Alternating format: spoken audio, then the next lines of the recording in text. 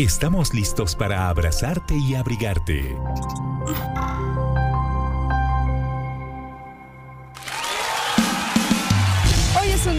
Especial para todos nosotros y de seguro también para ustedes. Atención, porque comienza Te abrazo, te abrigo y somos pioneros en esta campaña para poder abrigar a las personas más necesitadas, aquellas que duermen en las calles, por ejemplo, que no tienen ni un cobijo. Es por eso que con mucha emoción arrancamos esta mañana, martes de estrenos, por cierto, así que prepárense.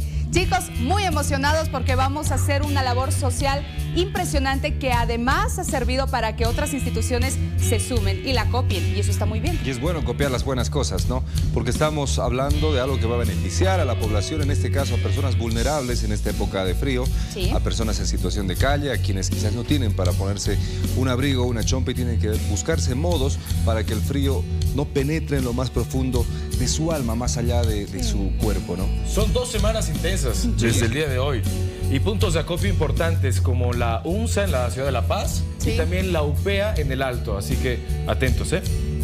Y algo que tienen que tomar en cuenta para esta campaña es que el momento donde ustedes vayan escogiendo esas prendas sean abrigadas, sean en buen estado. ¿Por qué? Porque nosotros también vamos a hacer llegar a esa persona tan necesitada para estos días de tanto frío. Nosotros lo abrazamos y después lo abrigamos, como ustedes vieron en esas imágenes. Y nos llena el corazón esos recuerdos, por eso le estamos reviviendo, Richard. Esta es una campaña donde todos, yo sé que todos pueden participar. Por ahí dicen, bueno, el que menos tiene es el que más da. Sí, evidentemente. Pero yo creo que todos van a repasar eh, por ahí el superchero, eh, estarán revisando su closet y tienen algo que no lo utilizan con seguridad. Pero alguien lo va a querer y se va a abrigar. Yo creo que esta campaña es para que todos participen, absolutamente todos. Ya estaremos hablando de los puntos de acopio, quiénes van a participar, quiénes nos apoyan. Tenemos muchas manos, es lo más importante para poder realizar una campaña con bastante éxito. Prepárense entonces y ya desde este momento oficialmente arranca. Te abrazo, te abrigo y queremos que usted también se sume. Nuestras unidades móviles están desplazadas en diferentes puntos para mostrarle esta dura realidad. Víctor Hugo Rojas, por ejemplo, la Avenida Perú. Mire, así duermen las personas en situación de calle. Es una avenida donde vemos esta dura realidad, donde la gente dice, ¿por qué no hacemos algo? Y sí, esta campaña va a ayudarlos justamente a ellos, que tienen que taparse con lo que pueden, cartones, plásticos. Es muy duro, Víctor Hugo. Es muy duro y el, el frío también está de esa misma forma, Vania. Te digo que está que congela. Yo no entiendo cómo estas personas pueden descansar acá, los niños, cómo pueden dormir acá. Em, tenemos un grado centígrado en lo que es el termómetro y pasar en la intemperie definitivamente sorprende y asusta, pero ahí está.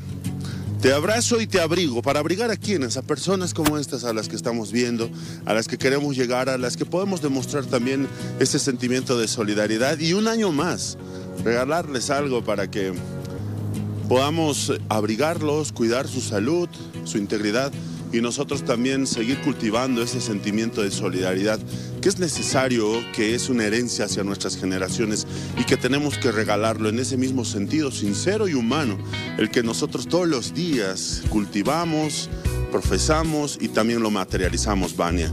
No hay satisfacción, sentimiento más grande en este nuestro trabajo, en este día a día de eh, hacer algo por el prójimo. Y si la gente se suma a nosotros como lo ha hecho todo este tiempo, pues eh, crecemos todos como sociedad. Definitivamente estoy emocionado, muy contento de iniciar una vez más esta campaña y que se sigan replicando todas, todas estas actitudes solidarias por nuestra gente, Vania. Sin duda, Víctor Hugo, y lo que señalábamos justamente es que más instituciones se sumen, ¿no? A esta que ha sido liderada por la Red Bolivisión, esta campaña Te Abrazo, Te Abrigo. Recordemos de que ya tenemos tiempo haciéndola y experiencia también.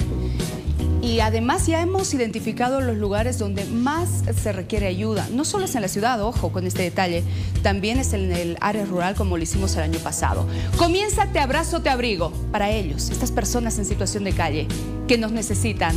Así que todos nos activamos. A nivel nacional incluso si usted quiere hacer sus aportes, también va a llegar a estas personas o a su región. Pero concretamente en La Paz y la ciudad de El Alto hay que empezar a buscar la ropa que tal vez ya no usamos, pero que se encuentra en buen estado. Ropa abrigada para estas personas que duermen así, en estas condiciones muy tristes. Gracias, Víctor Hugo. Así arrancamos. Te abrazo, te abrigo.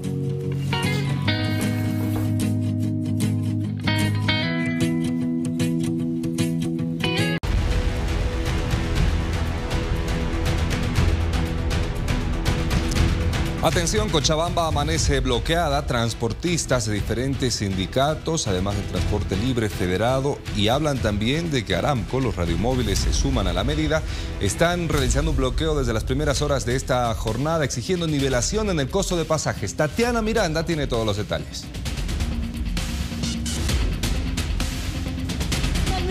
Los, hacia los cuatro puntos cardinales Cochabamba. Nos encontramos en el sombrero de Chola, zona norte de la ciudad de Cochabamba, y puedes observar ya que todas las avenidas han sido totalmente bloqueadas por el transporte. Tú lo decías, el transporte federado, el transporte libre y también se suman las asociaciones de radiomóviles, quienes han indicado que van a apoyar justamente esta medida. Pero están ya algunos de los conductores aquí, me voy a acercar a ellos también. ¿Cómo están? Buenos días. Recuérdenos cuál es la demanda, ¿por qué toman ustedes la decisión de parar por estas 24 horas? Bueno, eh, actualmente nosotros estamos solicitando la nivelación de pasajes.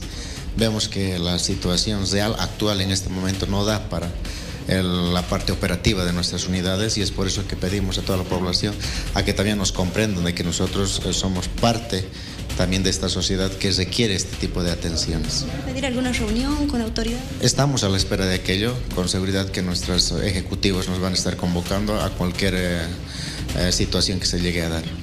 Muchas gracias. Ellos han indicado que la medida va a durar 24 horas, Gerardo. Sin embargo, ¿cuál es la postura que tienen ellos? Es que el pasaje puede incrementar de 1,90, que es ahora, a 2,70.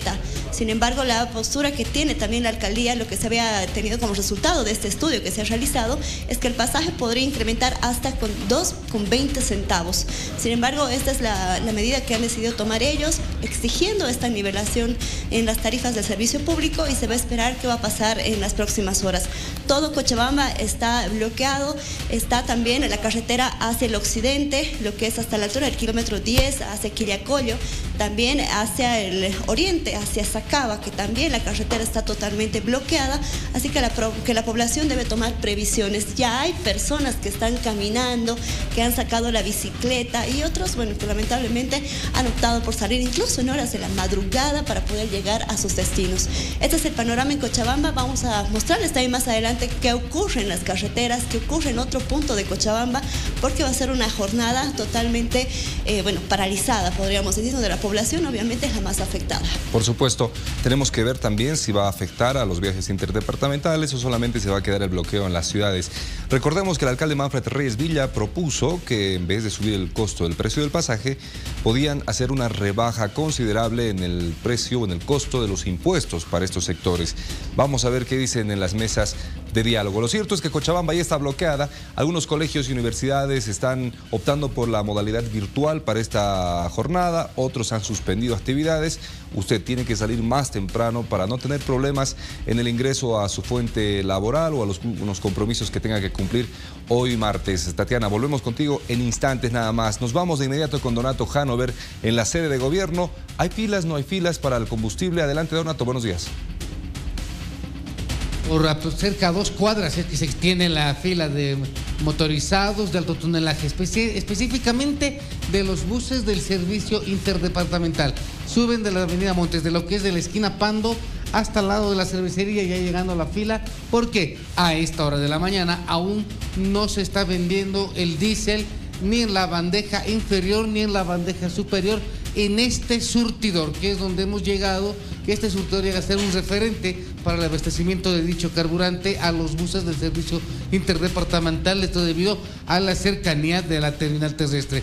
Se nos ha informado que en las próximas horas ya estaría llegando el carro cisterna para comenzar la comercialización del diésel, Gerardo. La gasolina normal, ¿no, Donanto? La gasolina con total normalidad, tanto en la bandeja superior como inferior y así como en el surtidor del frente, también la gasolina, no hay ningún inconveniente, no se ha paralizado ni un solo minuto en este surtidor la venta durante las 24 horas. Perfecto, relativa normalidad entonces, por lo menos en este surtidor en la avenida Montes y estamos viendo el otro que está prácticamente al frente.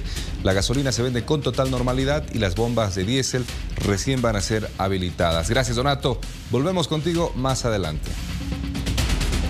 6 con 13 de la mañana y es que hoy se tiene previsto la reconstrucción de los hechos en torno a la desaparición de Odalis, pero la mamá de Odalis ha hecho una petición a la justicia. Escuche. Bueno, en realidad eh, se tendría que haber realizado eh, todo el camino a los Yungas, desde donde se encontró Odalis con, eh, con esta persona con, con su ex enamorado, por dónde fueron, es decir, toda la reconstrucción de lo que hubiese sucedido el día de los hechos. Es eh, una actividad procesal que tenemos por lo menos previsto que va a demorar unas 48 horas. Tenemos la esperanza de que la mamá pueda reconsiderar, en este caso, su solicitud de suspensión. Si se mantiene esa suspensión, vamos a señalar para, el próximo, para este fin de semana o para el próximo lunes a más tardar. Lo habíamos anunciado, vamos a hablar del proceso de elecciones judiciales porque ha habido un pronunciamiento en la Asamblea Legislativa Plurinacional. Mediante un comunicado, la presidencia de la Asamblea Legislativa, a la cabeza del vicepresidente del Estado, David Choquehuanca, exigió retomar de manera inmediata el proceso de preselección de candidatos para las elecciones judiciales, luego que el Tribunal Constitucional Plurinacional revocó el fallo a favor de la Acción Popular en Pando que paralizó la preselección de candidatos. La presidencia de la Asamblea pide a las comisiones mixtas respetar y garantizar la igualdad, equidad y paridad de género en el proceso de preselección y elección de autoridades para los postulantes. Thanks.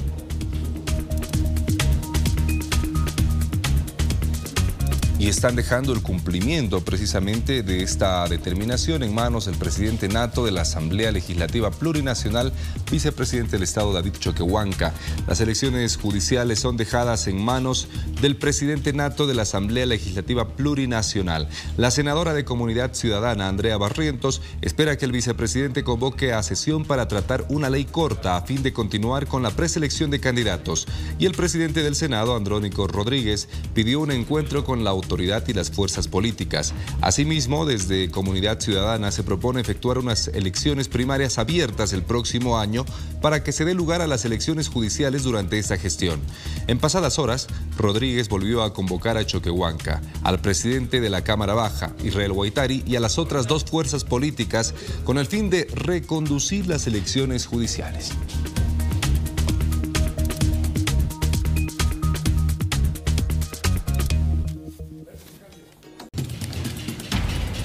Vamos a hablar de economía, amigos. Queremos saludar al analista económico Omar Velasco para hablar de lo que el presidente ayer manifestaba. Pese a la dura situación que vive el mundo con la economía, en Bolivia no hay ninguna crisis.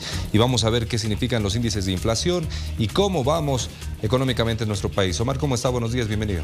Muy buenos días, querido Gerardo. Es un gusto estar aquí en su programa, en Al Día, en las pantallas de Bolivisión.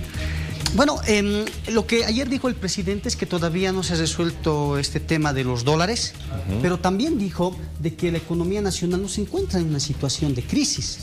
Y lo que yo veo es que ya los bolivianos estamos viviendo un ambiente enrarecido, donde la información cada vez es más difícil, digamos, de poderla este, comprender y digerir, ¿no? Porque yo le pregunto, eh, una situación de crisis y hay que dirigirse al diccionario, es cuando una economía está en recesión.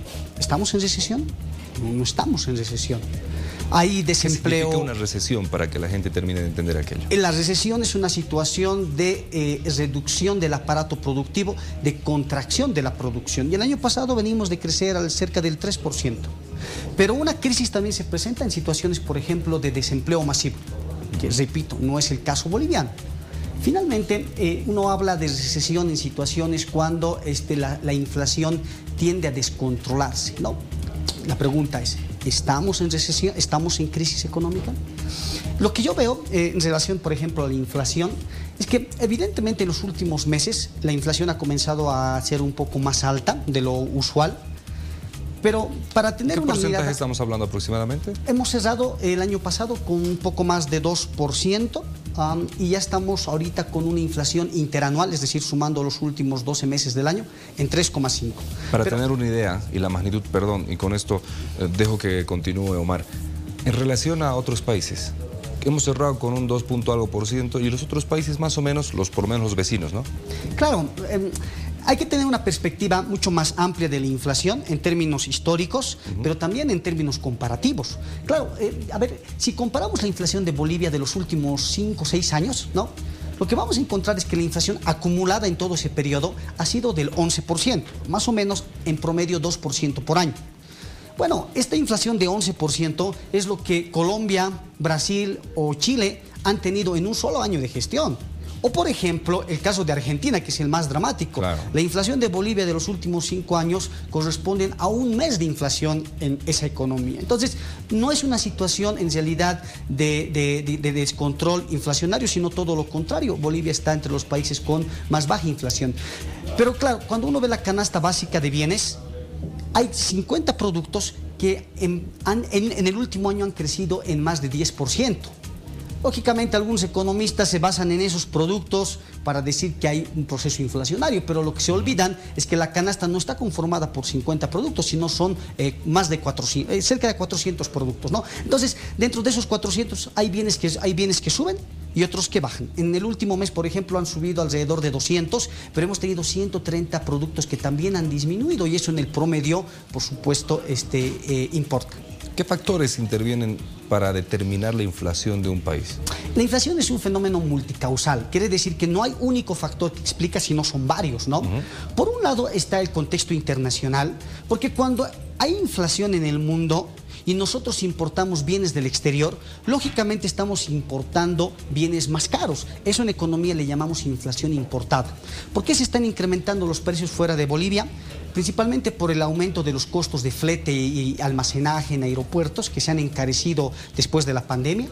Este, las políticas en Estados Unidos no están eh, resolviendo el problema de la inflación en Norteamérica eh, principalmente y eso lógicamente influye en las importaciones.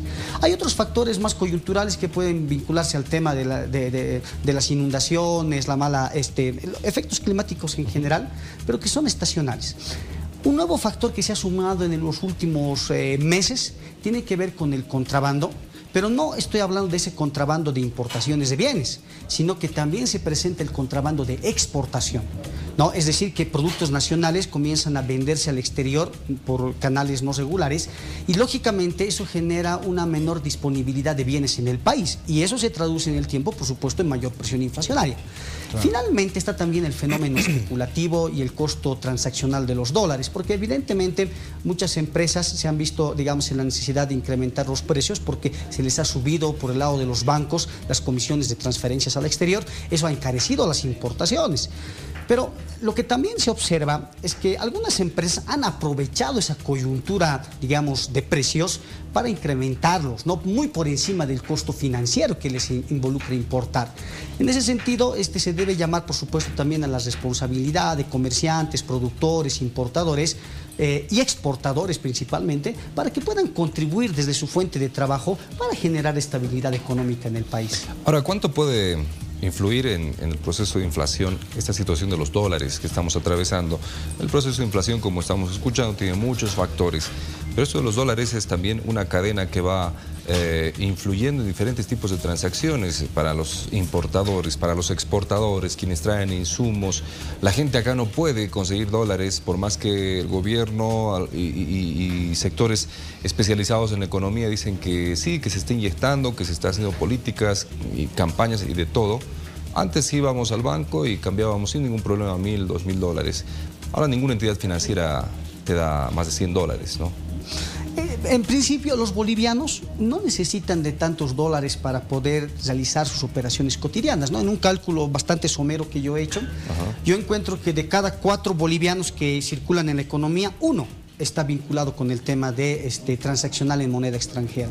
Ahora bien, es verdad que este, hay un canal, digamos, un poco más restringido en, las importaciones que eh, están afectando, por supuesto, el normal funcionamiento de las empresas. Eso es una realidad. Pero ya el gobierno ha ido viendo algunos mecanismos, ¿no? Justamente en una conferencia que daba ayer el ministro de Economía, hablaba de estos nuevos canales de importaciones a través del uso del yuan, ¿no? Ahí tenemos también un margen de, acción importante donde se puede comenzar a diversificar eh, eh, el uso de las divisas, porque no es que necesitemos el dólar en sí mismo para realizar transacciones, esto implica tener, eh, digamos, otras monedas que cumplan las mismas funciones que lo hace el dólar. Em, por otro lado, lo que tenemos que ver es que los bolivianos nos hemos acostumbrado a depender del sector público, en este caso del Banco Central, para este, proveernos de dólares. Este, ¿Cuántos de nosotros no compramos bienes del exterior? Pero no nos preguntamos cuántos dólares hemos generado con nuestra actividad laboral aportando al país con dólares. Y en realidad muy pocos bolivianos lo hacen. En ese sentido, mi reflexión, Gerardo, es que se deben incentivar las exportaciones, lógicamente, para privadas, para incrementar la, la, cantidad de dólares. Hay dólares que están pendientes de liquidación, que vienen de las exportaciones de soya, que se esperaría que lleguen en las próximas semanas. Pero del otro lado también se tiene que dar un uso racional a los dólares, ¿no? Quiero decir que tenemos que los, los bolivianos comenzar a confiar más en, en, en, los productos nacionales y eso implica mayor consumo de productos nacionales en lugar de extranjeros. Ya para terminar, Omar, hablas de los yuanes. ¿Cuánto más o menos cuesta un yuan? ¿Cuál es el cambio, el tipo de cambio? La ventaja que tiene utilizar yuan es que la relación con el boliviano es prácticamente de uno a uno. Esto es importante porque facilita, eh, digamos, la comprensión de los bolivianos en términos de la unidad de cuenta, ¿no? Porque, digamos, yo puedo comprar una camisa que vale 20 bolivianos, estoy hablando en términos este, del comercio internacional de 20 yuanes, exactamente al mismo precio, ¿no? Pero además hay que considerar que los yuanes ofrecen la ventaja que tienen costos de comisiones bancarias mucho más bajos, lo cual los vuelve mucho más atractivos ¿no? a este contexto donde los bancos han incrementado los costos de importación. Y del otro lado, este, son operaciones mucho más rápidas porque el sistema de pagos chino tiene la versatilidad de realizar transacciones mucho más eficientes en términos de tiempo que lo que realiza el sistema tradicional occidental del SWIFT. Un yuan 0.97 bolivianos, prácticamente uno. Y podemos ir a cualquier entidad financiera y decir, quiero cambiar mil yuanes. Hoy no podemos hacer eso. El Banco Unión ha sido el primero en, digamos, en, en innovar, eh, consiguiendo una corresponsalía china en el exterior para realizar operaciones. Pero yo creo que en el corto tiempo otros bancos inspirados en este mecanismo que está evidentemente funcionando van a comenzar a utilizar el yuan. Hoy más como un mecanismo de comercio exterior, pero en el tiempo también se puede convertir en un mecanismo de ahorro para la gente, de tal forma que puedan ahorrar también en esta moneda. Mediano o largo plazo, desde mi punto de vista, lo cierto es que por el momento no hay dólares, todo sigue igual pese a las políticas, a los anuncios, a las inyecciones económicas que dice que se está realizando en entidades financieras privadas. Esperemos que esto vaya cambiando por lo menos poco a poco. Omar, gracias por tu análisis. Por el bien de la economía nacional, esperemos que así esperemos. sea. Muy buenos días. 6.45 y atención porque preocupa el anuncio del transporte pesado. Ellos han convocado a sus sectores a un bloqueo para este 3 y 4 de junio, un bloqueo nacional. Tienen varias demandas, entre ellas la fluidez del dólar, por ejemplo, y por otro lado también hablan de los combustibles. En este momento estamos con Enrique Ponce de León, viceministro de Transporte, para abordar este tema. Viceministro, un placer saludarlo. El representante del transporte pesado ha señalado que no van a asistir al diálogo con el ministro Edgar Montaño. Lo harán solamente con el presidente. ¿Cuál es la respuesta, por favor? Muy buenos días, Vania. Un saludo cordial a todo el país a través de tu programa Revista El Día. Bien, informarte que eh, nuestro ministro de Obras Públicas, Servicios y Vivienda, Edgar Montaño, la tarde de ayer hizo una invitación extensiva a todo lo que es la Cámara Boliviana de Transporte para sentarnos en una mesa de diálogo con toda la predisposición de poder conversar de las distintas necesidades y reclamos que nos han manifestado en su demanda. De este modo, eh, consideramos y llamamos a la reflexión a todo el sector del transporte representado por la Cámara, de que podamos asistir porque es la, son las instancias pertinentes para establecer un diálogo sobre los distintos puntos planteados como necesidades del sector del transporte pesado nacional e internacional. Instamos pues a todos ellos a debatir, a analizar, a consensuar propuestas que sean satisfactorias para el sector. Viceministro, reclaman diésel, reclaman combustibles, reclaman también dólares. Dentro de esta reunión, tal vez para que puedan estos sectores asistir al diálogo. ¿Estará presente el ministro de Economía, por ejemplo, de YPFB o de la ANH? ¿Se ha considerado esto? Es correcto.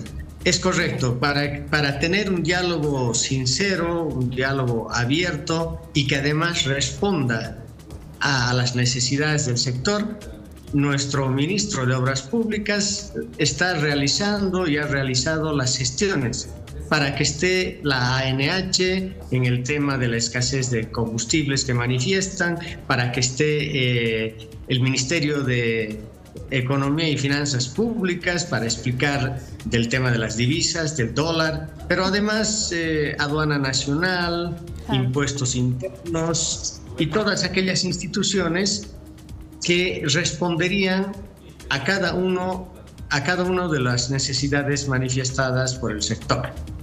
Viceministro, ¿qué está pasando con el combustible? ¿Es real esto que dicen los transportistas, que tienen que hacer largas filas? Lo hemos visto en algunos surtidores, pero ¿es tan compleja la situación y el panorama? ¿Qué reporte ha recibido, por favor?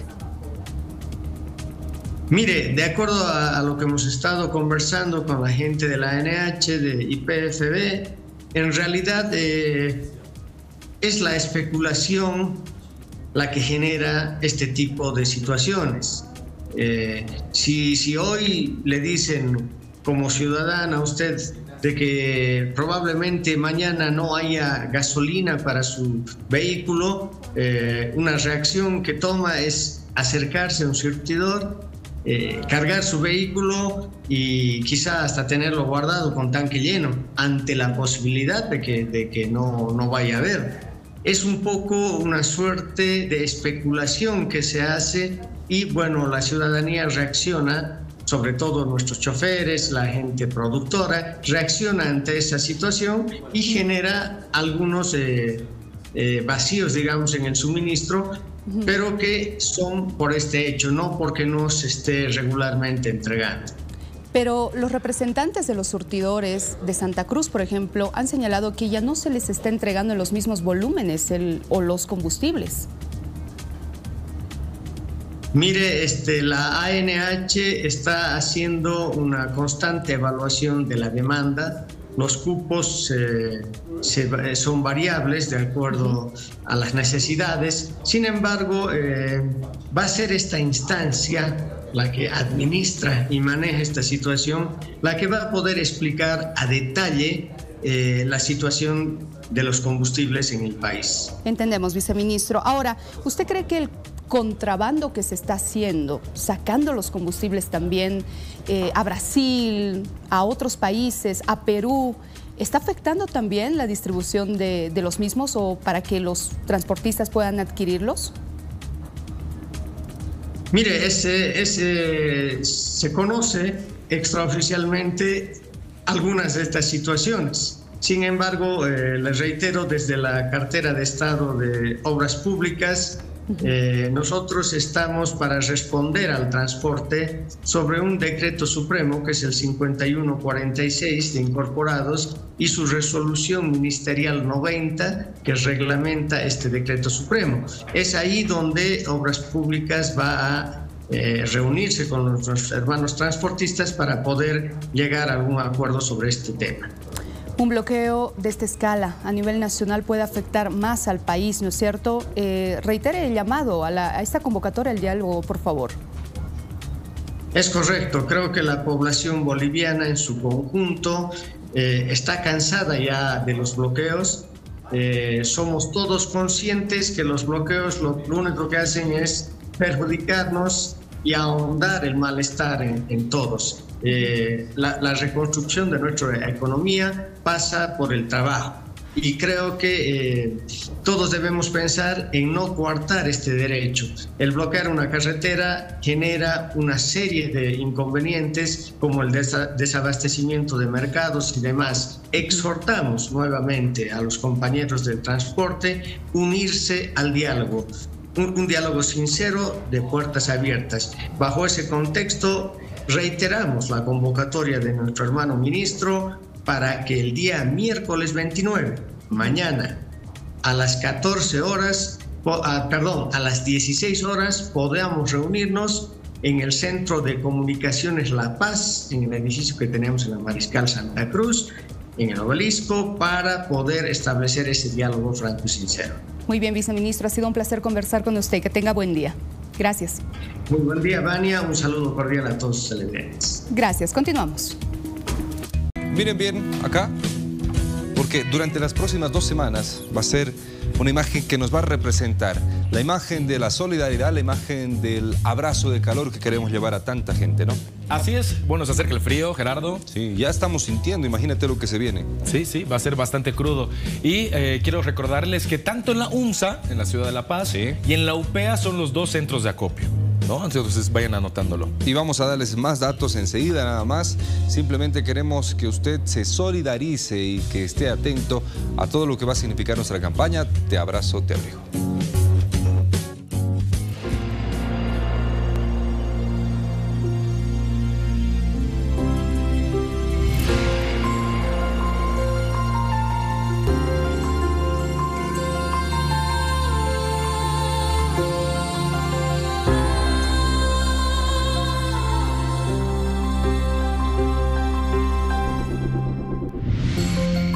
Estamos listos para abrazarte y abrigarte.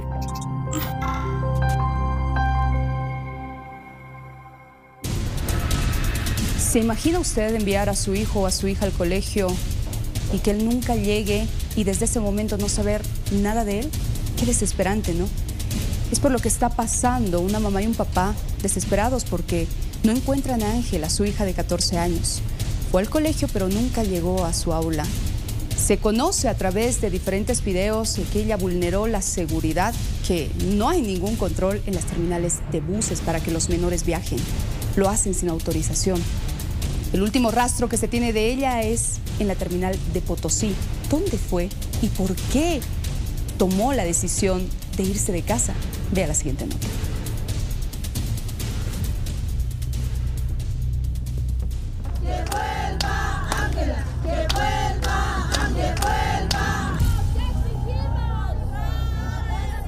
Pasó con el control en las terminales? Es la cuestionante no solo de los padres de familia, sino incluso de los estudiantes, la sociedad en general. ¿Quién controló en las terminales por lo menos de tres departamentos? De La Paz, El Alto específicamente, Oruro y Potosí, donde se vio a Ángela caminar, una menor de edad de 13 años, que salió de su casa y viajó libremente por el país.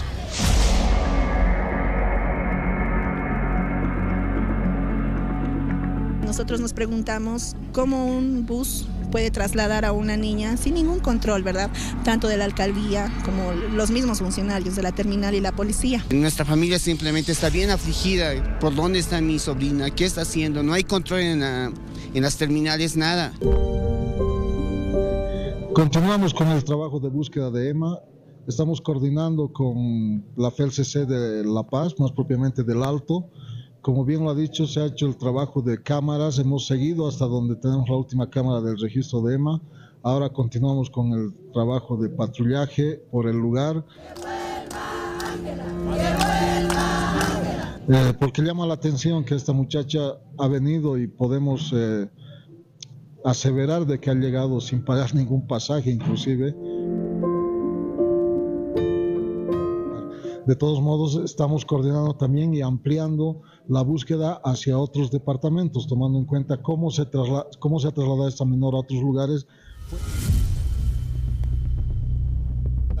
En la mañana salió a aproximadamente 8 de la mañana para ir a su colegio y el colegio es a dos cuadras, donde no ha llegado ahí. Cuando su mamá le va a recoger a mediodía, nos enteramos que no llegó al colegio, no había entrado y desde ese momento nos colocamos a buscar.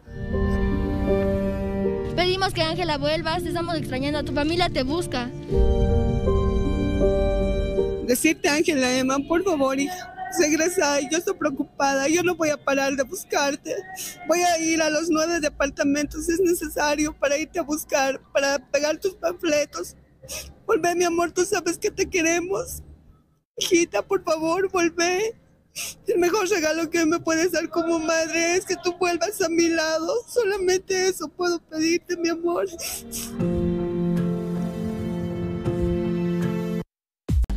7 de la mañana, 21 minutos. Cochabamba está bloqueada. La ciudad está bloqueada. ¿Qué sucede en las carreteras y las salidas de los buses interdepartamentales? Tatiana Miranda desde la terminal de buses. Adelante, Tati. Se han suspendido todas las salidas, tanto al oriente como al occidente de nuestro país. Y mira, los pasajeros, por supuesto, tienen que esperar porque se han sorprendido, incluso algunos con esta medida. Y hay molestia también de algunos que habían comprado el pasaje con anticipación y que hoy, bueno, lamentablemente su bus no ha podido partir porque no ha tenido el anuncio por parte de la empresa. Señora, buenos días.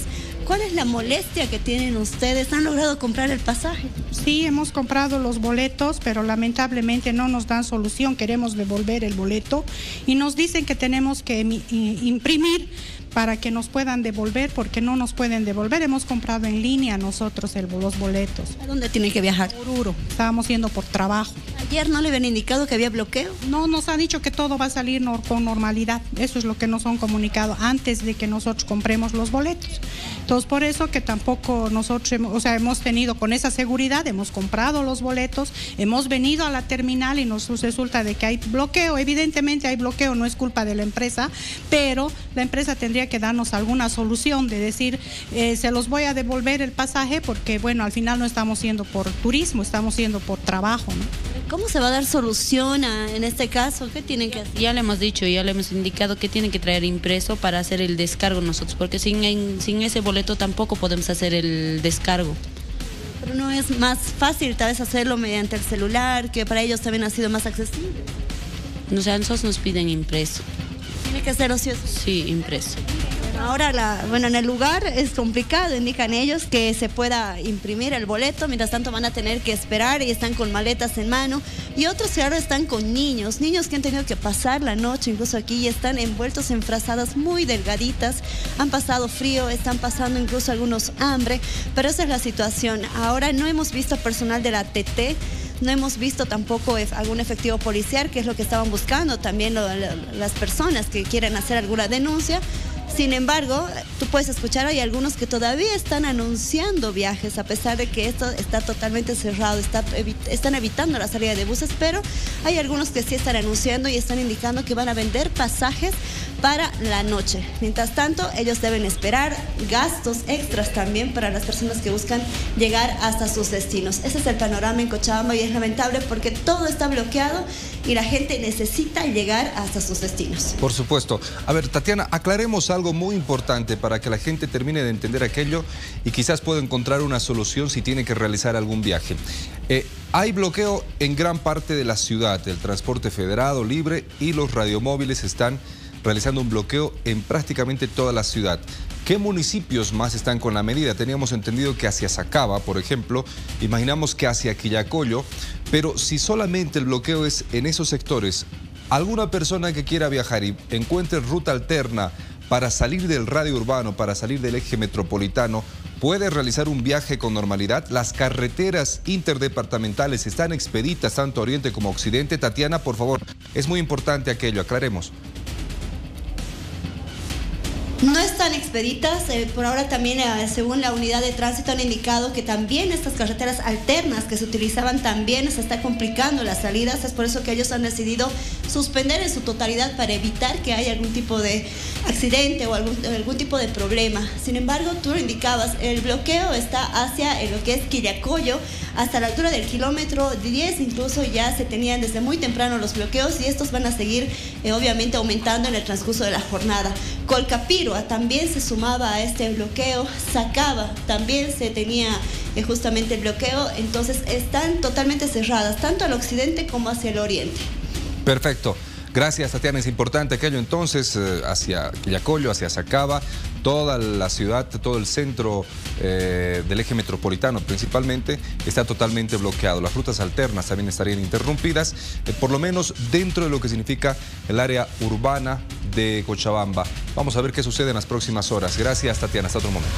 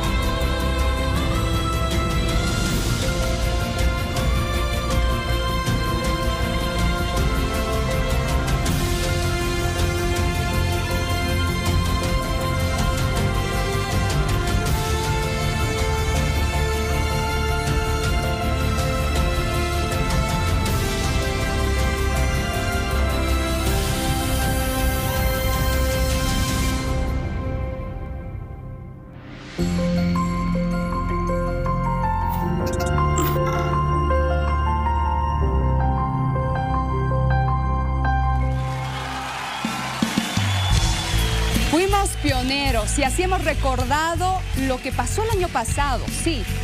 Con Te Abrazo, Te Abrigo hemos llegado a muchos hogares, incluso al área rural.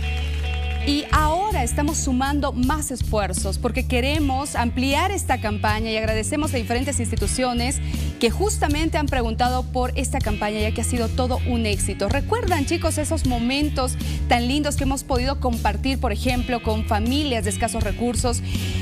Diferentes historias, gente que duerme en las calles, que no tiene un techo, que requerían de cobijo.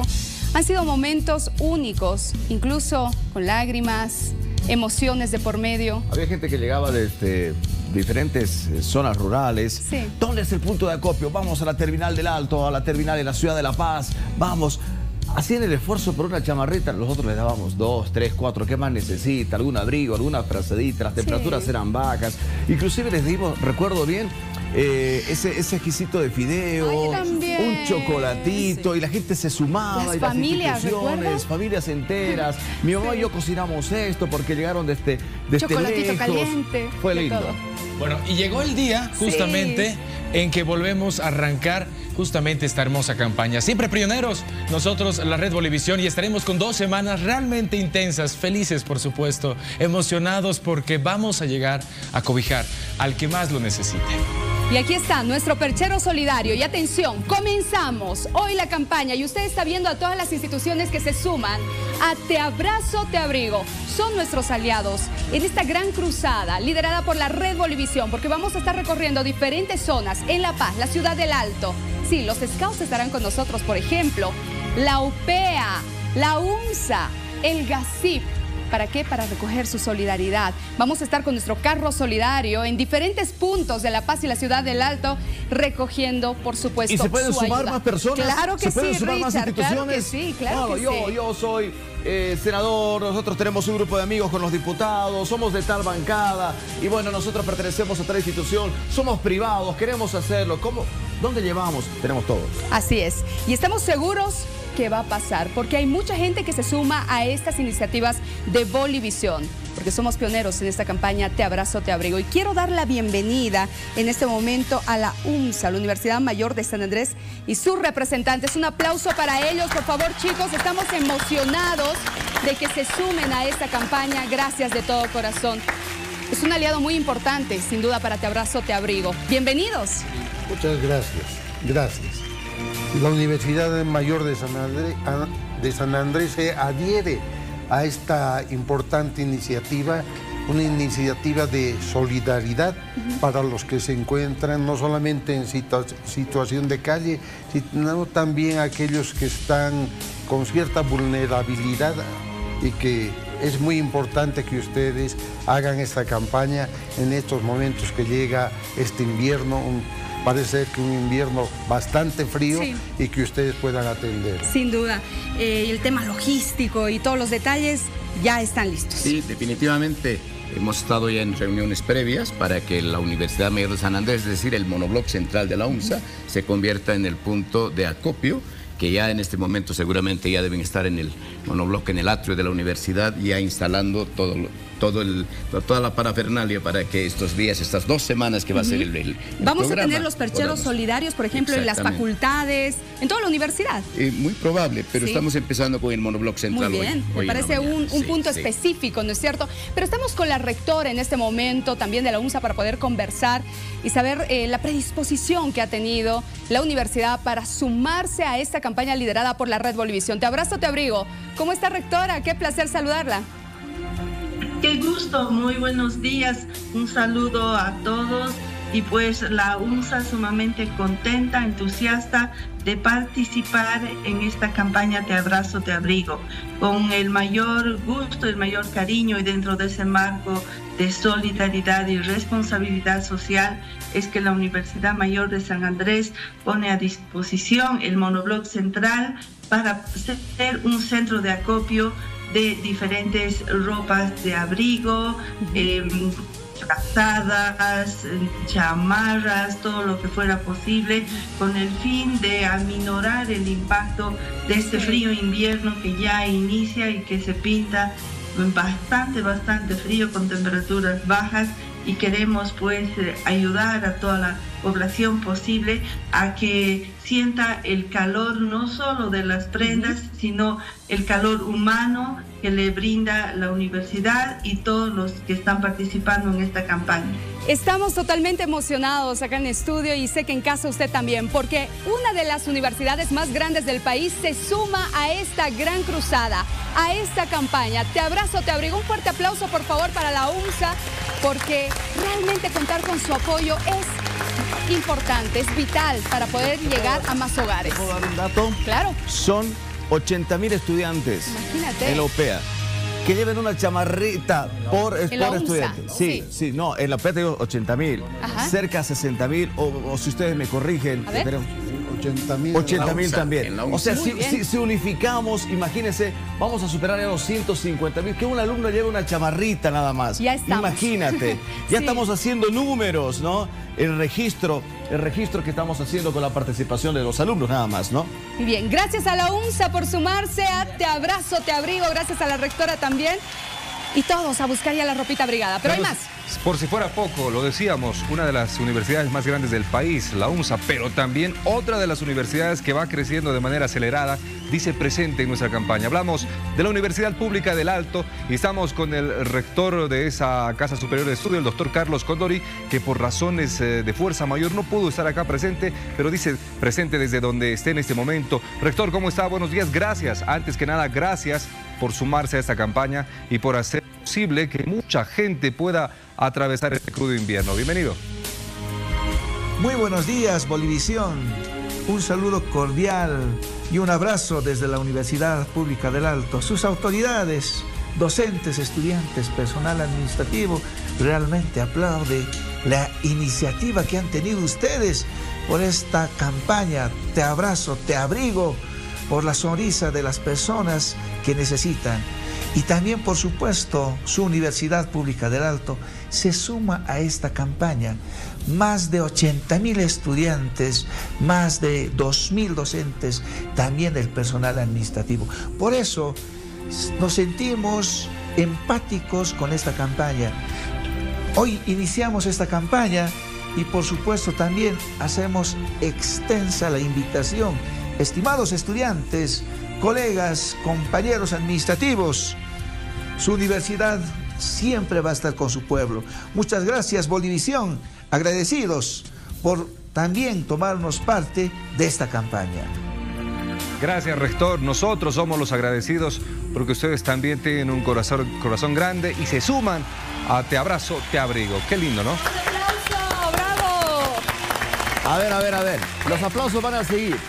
Van a seguir. Las emociones van a seguir. El tema de logística es importante. El tema de la coordinación. Tenemos que multiplicar nuestras manos. Tenemos que, a ver, organizarnos. ¿Quiénes van por acá? Vengan los scouts, vayan ustedes, los de la UNSA, los de la OP. A ver, ustedes también vayan, los del canal, vayan por allá. Bueno, esa logística lo tienen que hacer los que saben, ¿no? Están preparados para todo aquello. Y por eso vamos a dar la bienvenida. Y quiero un fuerte aplauso para el GACIP. Estás de nosotros en esta mañana. No podía faltar. Gracias al subteniente Kimbley Gary Torres. Subteniente Torres, un gusto, buenos días y también quiero dar la bienvenida al sargento segundo Edwin Ramos, que también está con nosotros. Teniente, gracias por estar con nosotros, gracias por sumarse a la campaña. Muchísimas gracias más bien al canal Bolivisión. A nosotros muy contentos eh, de formar parte de la campaña Te Abrazo, Te Abrigo. Y bueno, nosotros la unidad GASIP dependiente de la Policía Boliviana estamos prestos para colaborar y bueno, ¿no? Eh, invitar a, a la gente que nos está viendo en, en pantallas, podernos colaborar con un granito de arena para las personas que más necesiten en esta época de frío. Bueno, ¿cuántos, efectivos vamos a necesitar o, o ustedes están tomando en cuenta?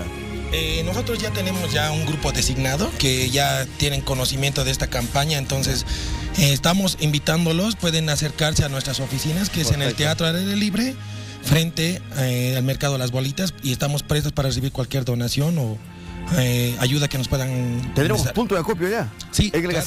Pleno Sí, centro de la ciudad de La Paz. claro, gracias, sí. Gracias. Gracias también a todos sus efectivos presentes acá para poder hacer realidad este sueño una vez más. Así es, bueno, y quien tiene una labor realmente altruista son nuestros jóvenes scouts que están acá. Todo, en realidad, todo el plantel de Scouts Bolivia va a estar ayudando justamente a nuestra campaña. Te abrazo, te abrigo. Los saludamos, chicos, y pido un fuerte abrazo también, por favor. Bueno, son jóvenes además voluntarios, quiero resaltar eso, que realizan una labor realmente digna, solidaria y en esta ocasión se suman a la campaña Te abrazo, te abrigo. Bienvenidos. Eh, muy bueno. Muchas gracias por la invitación en primer lugar. Eh, nosotros somos scouts de diferentes grupos para poder ayudar, servir a donde más se nos necesite. Entonces agradecemos de corazón esta oportunidad que nos están abriendo. Nosotros estamos emocionados, muy felices de tenerlos. ¿Cómo se sienten ustedes? Estamos muy contentos de lo que está, de la invitación que nos dieron, de la oportunidad que tenemos para ayudar a todos los demás, de que se abra no solo a los scouts, digamos, el poder ayudar a todos, sino que tenemos grandes instituciones, tenemos grandes apoyos que nos están ayudando de todos lados y de la gente en general, que es lo principal. Así es, así es, la gente, apoyar a la gente, la solidaridad. Eh, cada empresa, instituciones se van sumando y esto apenas continúa, Manita. Exacto, apenas comienza. Y a ver, atención, porque todos tienen ya sus pines. Acá está. Te abrazo, te abrigo de Bolivisión, ¿no? Mire, en diferentes eh, instituciones ya están luciendo este pin. Te abrazo, te abrigo. Y nuestra polera también con el identificativo. Esta es la frase oficial de esta campaña de invierno para ayudar a las personas más necesitadas. Te abrazo, te abrigo. Te abrazo, te abrigo de Bolivisión y nosotros estamos emocionados de arrancar así esta gran campaña que es de nuestra red, la red Bolivisión. Y así muchas personas se van sumando. Y Donato Hanover la tiene.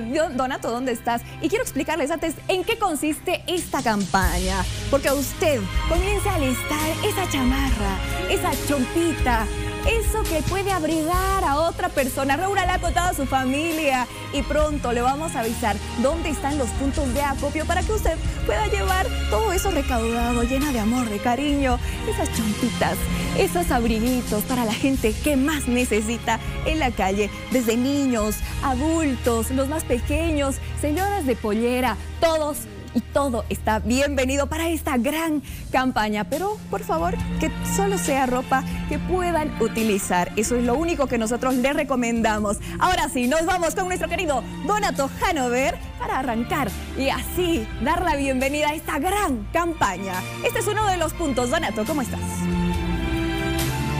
Este es el punto de acopio acá en el monobloc. Esta es una chamarra que me ha calentado por años durante mi, mi gestión de trabajo como periodista nocturno. Me ha dado mucha calor y ahora tiene que abrazar y dar a alguien ese calor que a mí me dio. Aporto acá a este perchero porque es como iniciamos la campaña. Quien viene, bien empieza, bien acaba. La UNSA, nuestro aliado estratégico acá en la ciudad de La Paz. Doctor Campero, usted también dejando una prenda que tal vez le trae recuerdos, le, le hizo abrir. Sí, eh, para cuidarnos del frío cada mañana que en estos días La Paz está sufriendo de mucho frío y bueno, pues en esta estrategia para trabajar conjuntamente con Bolivisión y nuestra Universidad Mayor de San Andrés. El doctor Campero, como yo, tenemos un abrigo que nos abriga bastante bien. Gruesito es un paño bastante grueso, al igual que el mío. Nosotros tenemos la bendición de contar con esto. Hay gente que no tiene eso.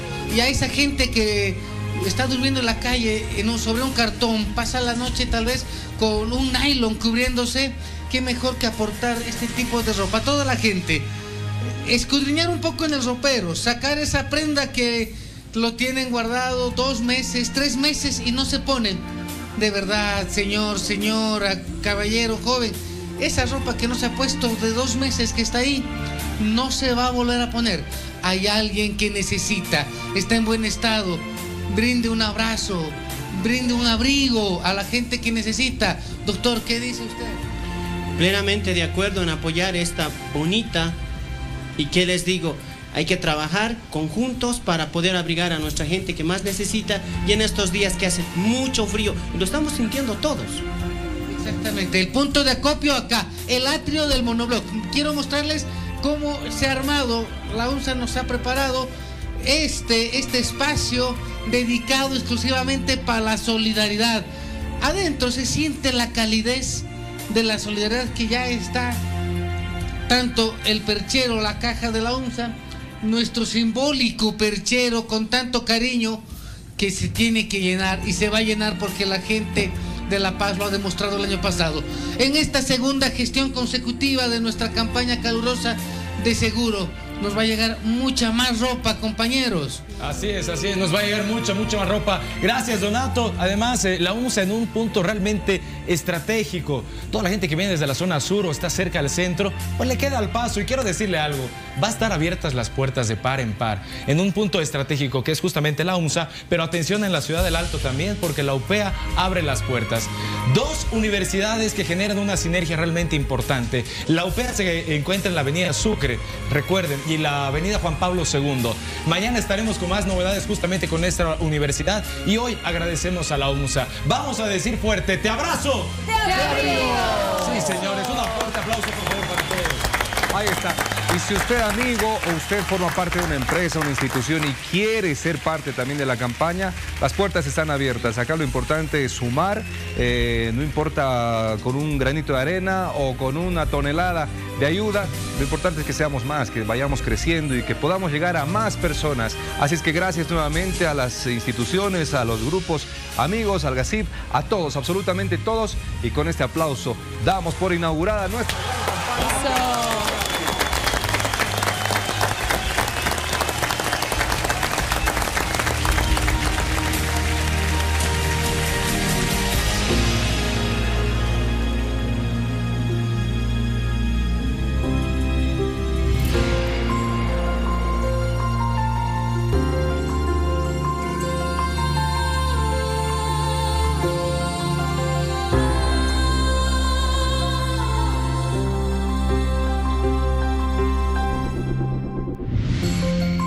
Estamos listos para abrazarte y abrigarte.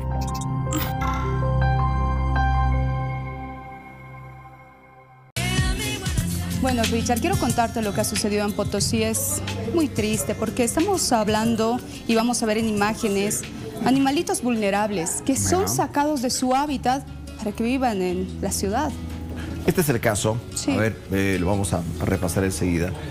Se trata, de ustedes, de un monito no está en su hábitat natural, para empezar. ardilla. Eh, está acostumbrado a otro tipo de clima, para empezar. No, es un monito ardilla. Sí. Así se los conoce estos monitos. Encerrado, cuando estos monitos, tú sabes bien, tienen que estar desplazándose ante la sabiduría de la naturaleza. ¿Te cuento algo más? Te cuento que este monito estaba siendo atacado por unos perros, pero apareció un héroe. ¿Quieres saber de quién se trata? Se lo mostramos. Hay que verlo. De que se rescató un animal silvestre. En esta ocasión estamos hablando de un primate eh, que es más conocido como mono ardilla. Que le den todo de comer ya, por favor. Que no vaya a sufrir, es lo que no quiero. Bueno, mira esta preciosura, es un mono ardilla que fue rescatado otra vez por Pofoma, sí, y sabe que en las circunstancias donde evidentemente en la terminal de buses, eh, pues eh, seguramente este monito quería ser comercializado por algunas personas. Él logró escapar o posiblemente los captores lograron soltar ese monito. ¿Sabe qué? ¿Quién es el héroe? Es un albañil, quien pudo rescatar a este monito, llevarlo hasta su área de trabajo para posteriormente llamar a los de Pofoma. Sin duda alguna, existe concientización de la gente para que estos animales no sean comercializados. Y eso es lo que prácticamente está tratando de hacer la Policía Departamental de Potosí. Este animal, de acuerdo a los antecedentes que tenemos, hubiera sido rescatado en primera instancia, ¿no? Por un albañil que estaba trabajando en la obra. Él vio que una jauría de pesos lo acosaló y lo estaba atacando. Entonces bajó inmediatamente de, su, de la obra y lo logró auxiliar. Es decir, no necesitamos ser héroes, no necesitamos actos heroicos para simplemente ayudar a un animal. Lo que más resaltamos ahora de la sociedad potosina es de que ya tienes empatía para los animales. Se pone en el lugar de ellos. Ellos no pueden estar en este hábitat. Él pertenece al oriente boliviano. No puede estar aquí él sufriendo eh, de frío como ustedes pueden ver. Sin embargo, su policía, como siempre lo decimos, va a ser la voz de los sin voz. decir a todos los ciudadanos potosinas que, que no lo agarren, ¿no? Si encuentran animalitos por ahí, que lo entren donde tiene que estar el animalito, ¿ya? Resumimos que va a ir eh, a ser al Oriente Boliviano, Santa Cruz, Cochabamba o Tarija. Veremos eh, quién abre las puertas en esta ocasión a este primate, ¿no? Que, que es muy, muy bello, muy bello. Entonces han podido ver que el tamaño es de un celular, pero sin embargo la cola es tres veces eh, del tamaño de él. Qué buena música, qué buena música. Enseguida vamos a seguir con más.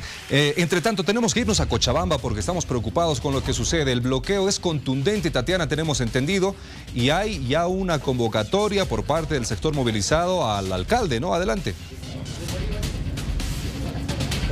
Así es, me encuentro con el Ejecutivo del Transporte Federado, justamente el señor Orellana. ¿Ya tienen ustedes una postura? ¿Se están cumpliendo estas primeras horas ya de bloqueo? ¿Cuál es la evaluación que tienen ustedes y cuál es la demanda también hacia las autoridades?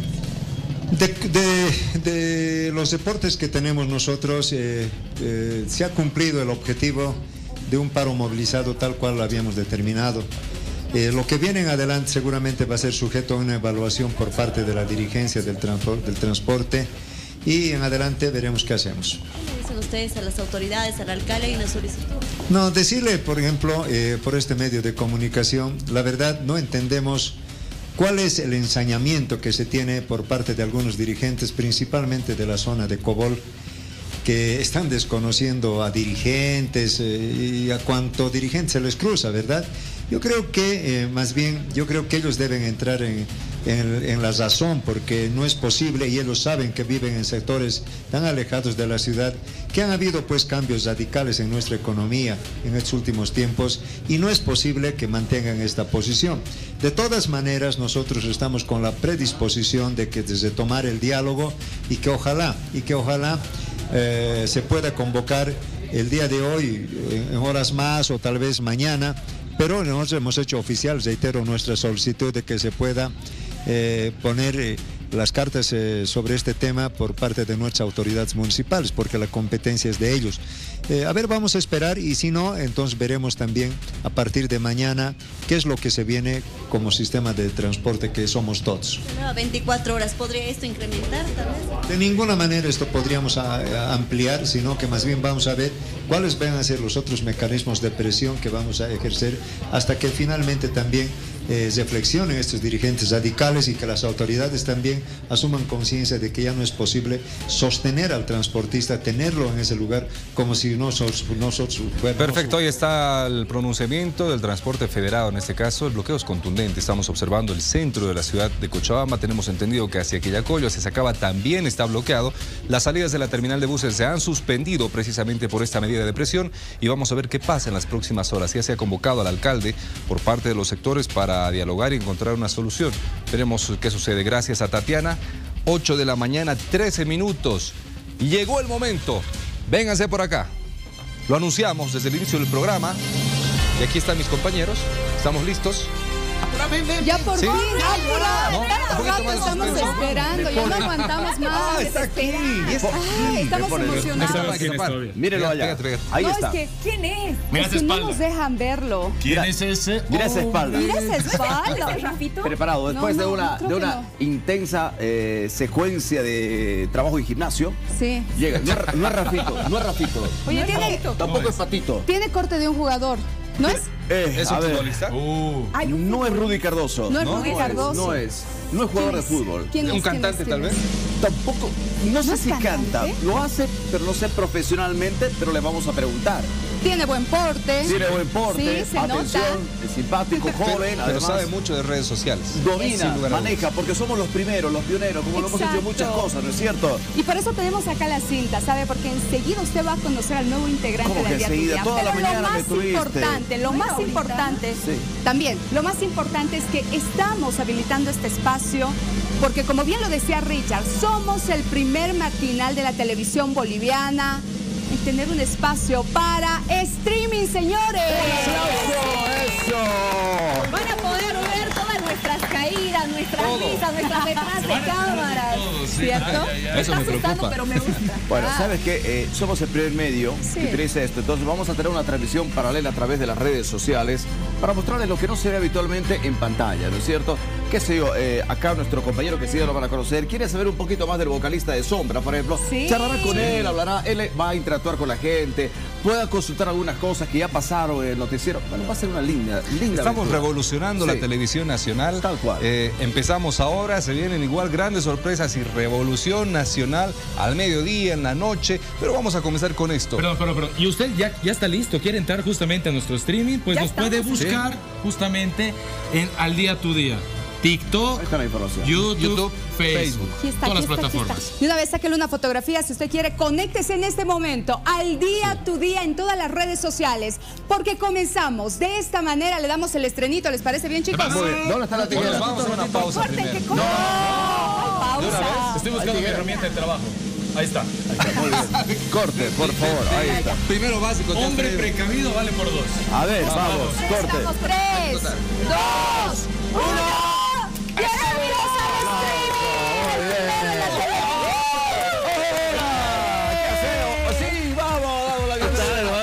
Mucho gusto.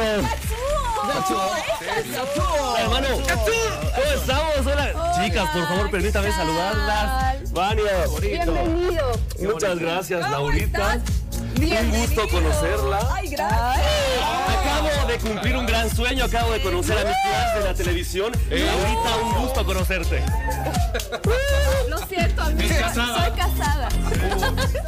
¿Cuánto tiempo llegué tarde? casada. Siete años, amiga. Siete años tarde. No, pues yo soy muchacho, yo seguro seguí en el colegio de esa edad. Un beso para mi, mi amor. Vamos a hacer buenas parrilladas aquí con Katsuo. Eso. ¿Cómo te dicen Katsuo de, de cariño? Miren, aquí vamos a ser sinceros y también en las redes sociales. Mi nombre es Katsuo, pero nadie la chunta. Todos se equivocan, me dicen Katsu, Katsu, ketchup, mayonesa, mostaza. Me dicen de O como, todo. o como Richard, ¿qué le dices? Oshin. Oh, no, no, no. ¿Cuál es tu apellido? ¿Con nombre cuál? Si mi nombre es difícil, A ver. mi apellido es peor. Shiraishi. Shiraishi. Shiraishi. Parece algo de comida china. A ver, el nombre completo. Nos vamos a, A ver, llevar bien ahí la comida. Sí, pero nosotros le vamos a decir ketchup de, de cariño. Neta, de lo que quiera. A usted, gente hermosa que nos está viendo igual, me van a llamar como sea. Y bueno, pues poco a poco ya se ¿Qué van a acordar mi vas a nombre. hacer? ¿Qué es lo que vas a hacer? A ver, cuéntanos en este Querida espacio. Vania, bueno, pues les comento rápidamente. Sí. Yo hoy me apodero de las redes sociales, señores. Vamos a estar en el detrás de cámara. Yo les voy a contar que la producción tiene el visto bueno. Justamente me ha dado el visto bueno para que yo esté ahí interrogándolos aquí a los compañeros. Les voy a mostrar quién es el dormilón, quién es la que se distrae, quién es el que está ahí también conversando con los demás camarógrafos. ¿Quién come más? ¿Quién come ¿Quién come más? De todo. Ahí nos vamos a enterar a través de Gerardo las va a salir sociales. bastante entonces. Todos, Voy a todos. estar aquí como castigado todo el rato. El más dormilón que come más. Exactamente. A los que se- de repente se portan mal, se van al baño, se tardan mucho, se van a maquillar muchas veces. Todo lo van a ver a través de las redes sociales. Oye, qué bueno, che. Qué lindo, lindo. qué lindo quedó esto, ¿no? Qué belleza, ¿no? No era nada para los perritos, les estaba escuchando Sí. ahí que una heladería. Para nada, señores. ¿No? Aquí va a ser un punto de encuentro con todos los jóvenes y las personas que están en las redes Katsuo, sociales. a ver, eh, la gente que recién nos está viendo, para que se entere un poquito de todo, ¿de qué hora a qué hora vas a estar? ¿En qué redes sociales? Y el contenido que vas a generar. Bueno, pues Paul, déjame contarte, aprovecho para hacer la invitación a las personas. Todos los días nos encontramos a las 8 de la mañana a través de las plataformas digitales. Nos busca como Red Bolivisión y revista Al Día Tu Día. Ahí vamos a estar, como les digo, vamos a estar con chismes, vamos a estar hablando de farándula. ¿Usted tiene alguna pregunta para nuestros presentadores? Yo se las voy a hacer al vivo. ¿Cualquiera? Para cualquiera, pero... Y chicos, atención porque ya estamos en este momento en la transmisión en vivo, en directo. Usted ya tiene la información completita para seguirnos. Vamos a mostrarle, atención, dos, tres, ya estamos. Listo, en estamos vivo. en vivo. Ahí está, hola. Ya nos encontramos al vivo, chicos. Aprovechemos para hacer algo súper rápido. Salimos, sa- salimos muy bien, ¿no? Salimos Claro. bien. Sí, sí. Nos vemos bien. Podemos quedarnos Le acá. pusiste filtro, ¿no? Sí, le he puesto unos cuantos filtros, vamos a estar ahí jugando con eso más.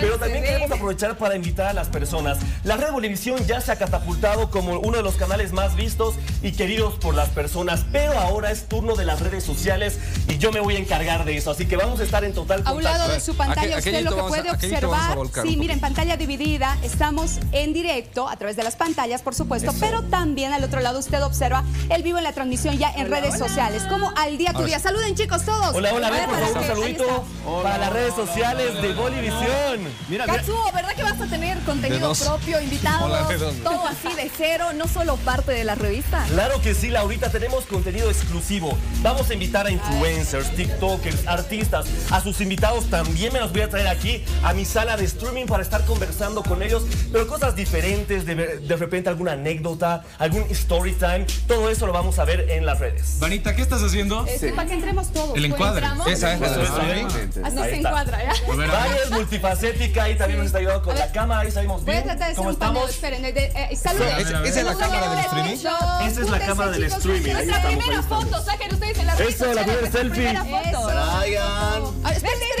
Véngase, por favor, Vani. Ya acomodado. Ahora sí. Ya, listo. Eso, eso. Eso. A ver ahí, el, el recuerdo para siempre. Perfecto. Qué lindo, che. Bienvenido, qué lindo. Bienvenido, muchas gracias. Mira, la- la- esto nunca se, va, nunca se va a olvidar de mi nombre. Vamos a estar interactuando con las personas. Incluso a las personas les va a pasar que no se van a acordar, pero muy pronto se van a memorizar. ¿Cómo no memorizarse? Cat de gato y Exacto, suo. exacto. Katsuo. Katsuo. Hay que decirlo Katsuo. desde aquí adentro. más facilito, Katsuo. Eso, eso. ¿Cómo ya? Estornudando, ¿no? La, Katsuo, gente está comenzando a participar. Claro. Estoy viendo que están preguntando pálpitos para la final de la Champions. Está bien, Gran Dortmund. Bueno, de todo, vamos a hablar absolutamente de, De todo. todo, de Sí, todo. sí, mira, dice? ¿Qué más mira. A ver, a ver, ¿Tienes estamos. chica? Dice. ¿Tienes? No. No, soltero. Yo vine soltero, soy del pueblo para todas las señoras hermosas que nos están viendo. Más bien aprovecho para mandarle un besote a usted que me está viendo, señora, amiga. Ya vamos a estar A ver, conversando ¿sabe por la qué es lo red. mejor? Katsuo sabe, sabe a lo que apunta. ¿Sabe qué es lo mejor? ¿Qué? Que es del Bilster. Sí. Obviamente, mentira, señores. Claro que sí, después. Bueno, bueno, que- bienvenido, estás en casa, aquí tienes Soy una del familia, pueblo, tienes dice. amigos. Mira, aquí estamos saliendo, mira, mira, A ver, a ver, ahí, ahí, ahí, para que vean. Y aquí tenemos un ¿Qué tal monitor, qué lindo, muy bien, ahí tenemos. Oye, qué bien nos vemos, che. Espectacular. Qué buena calidad. Sí, señor, ahí. Recordemos que Ahí- ahí vamos a nomás, estar ahí. en YouTube, en TikTok y en Facebook. Facebook, exactamente. Desde las 8 de la mañana. De 8 de la mañana en adelante, aquí nos vamos a quedar de manera ininterrumpida. Si bien la revista es hasta las 9, yo me voy a quedar más tiempo. Aquí tengo el Ay, visto bien. bueno para quedarnos a conversar con ustedes. Anécdotas, chistes, de todo. Lo tenemos aquí. Qué lindo, me Qué encanta. calidad, el qué primer calidad. streaming de la televisión boliviana está en al día tu día y nos sentimos orgullosos por ello. Un aplauso una vez más, bienvenido. Muchas gracias. Volvemos. Cuando esté ocupado yo voy a charlar por él. Vamos a estar. Al día tu día está en el lugar de los hechos. Atención en la zona de Achumania y emergencia. ¿Y por qué? Víctor Hugo Rojas, tú nos dices. 23 y Avenida Alexander, una de las principales vías de Achumani, la que sube para que la gente se dé cuenta hacia lo que es el alemán, el colegio alemán, es que ha sufrido este deslizamiento, una caída de talud que se ha dado aproximadamente de la mañana, la ciudadanía nos ha notificado y afortunadamente también llegaron de forma inmediata bomberos y personal de riesgos de la alcaldía.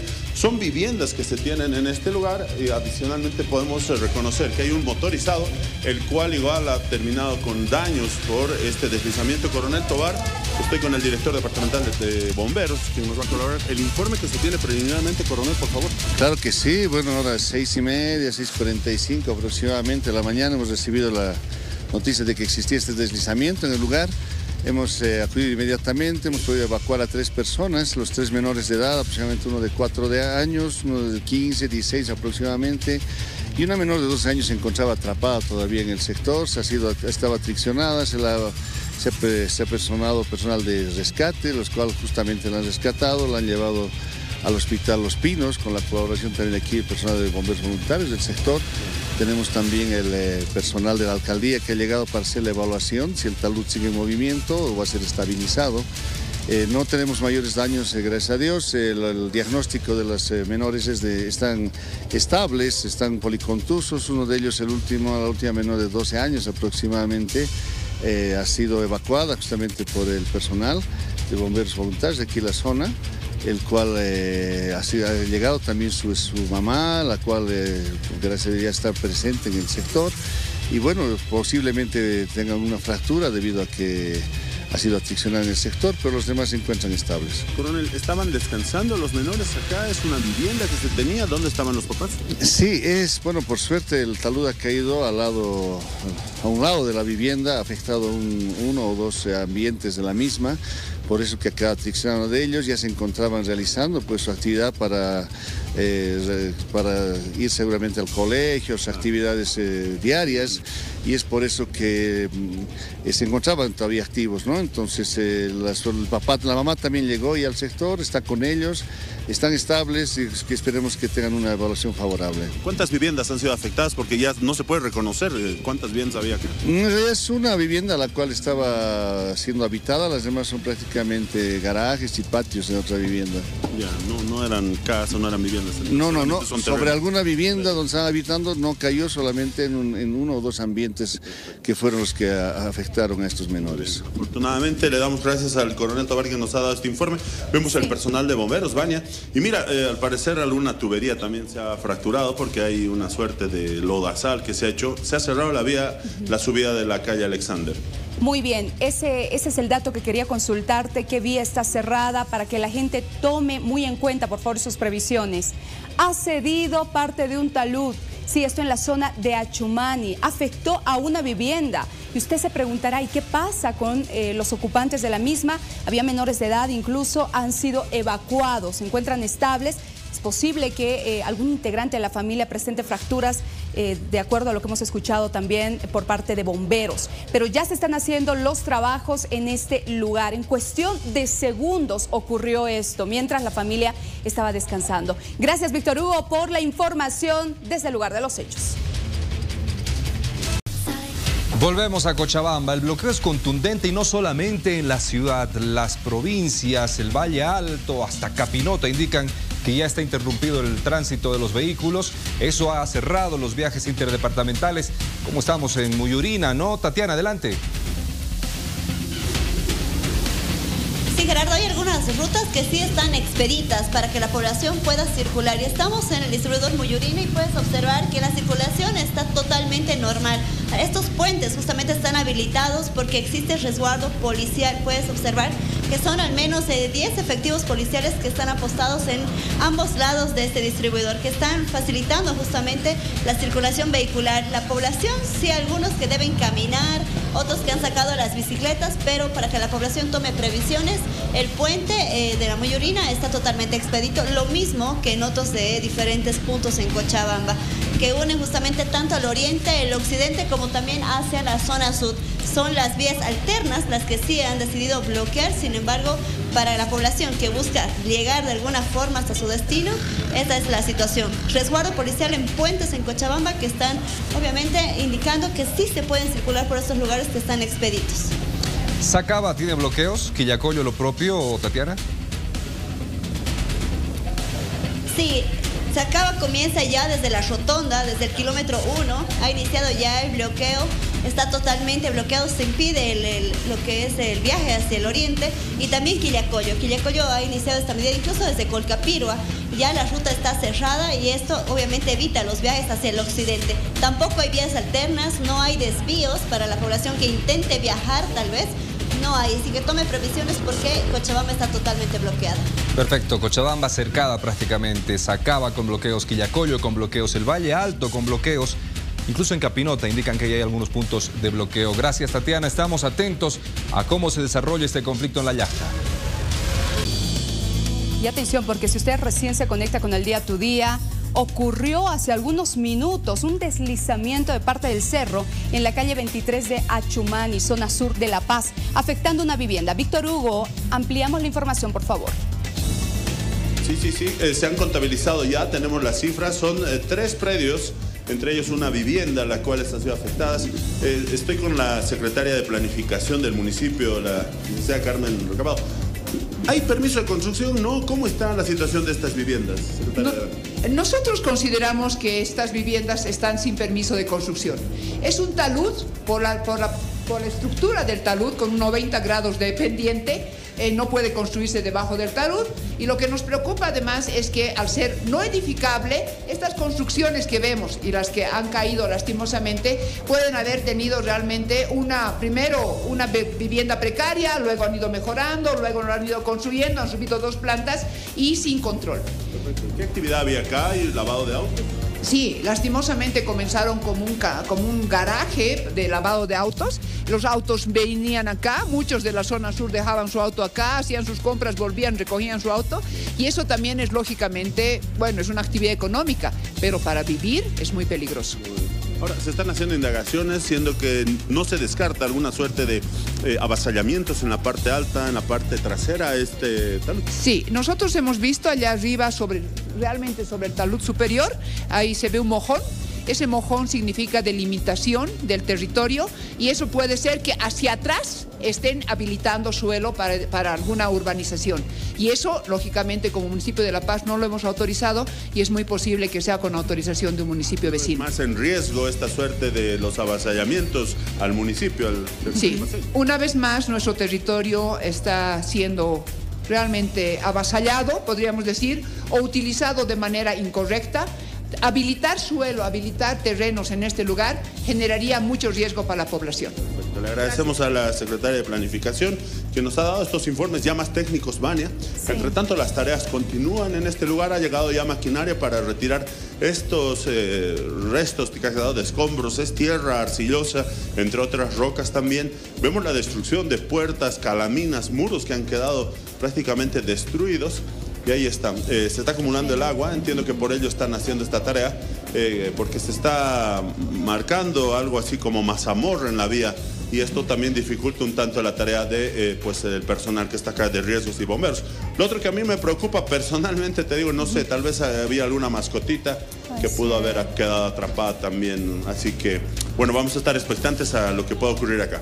Qué pena de verdad, Víctor Hugo, qué susto además para las familias. Son tres predios que han quedado afectados, entre ellos una vivienda, y habían cuatro personas dentro.